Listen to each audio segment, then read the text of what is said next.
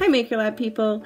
So today I am going to be teaching a fun activity on doing some kind of paper toy fidgets, uh, which I'll get to a little bit later. But before we get into that, I'm sure you're all dying to know what the next 3D print prompt is.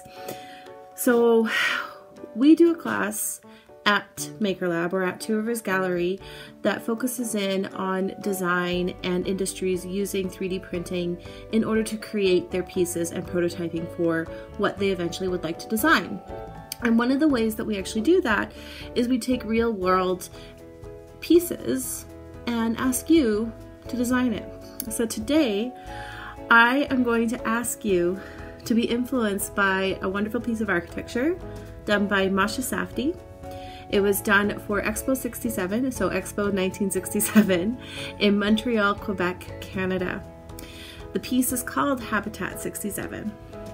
It is a unique and unusual piece where he actually came in and created modules, kind of like concrete boxes that was then placed one on top of each other.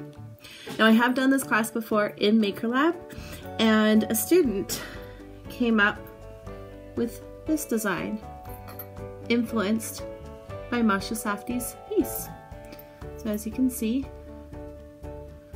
it's kind of cool. It has like the cube effect. They're all layered one on top of each other. So I would love for you to find this photo and be influenced by this wonderful piece of architecture. Now, on to the activity, this week's activity. This first one is a favorite at MakerLab and with classes that I teach.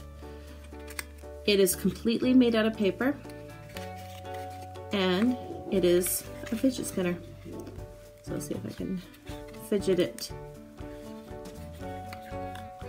So what you will need is the actual PDF design those should both be linked in the Facebook po post above me or in the YouTube if you're watching this on YouTube channel. Uh, if you download those, those pieces, then you'll be able to print those and follow along.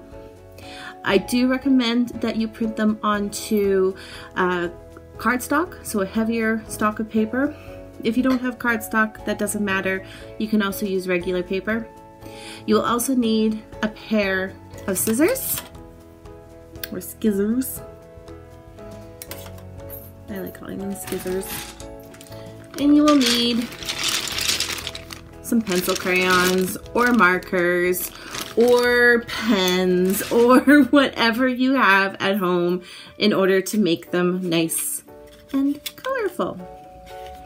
And the last two things you will need is a glue stick. You might also need to use hot glue, but today we're gonna be doing glue stick. And some scotch tape. Okay, so enjoy. I look forward to seeing everyone's fidget spinners and I really look forward to seeing everybody's 3D print designs. Bye for now.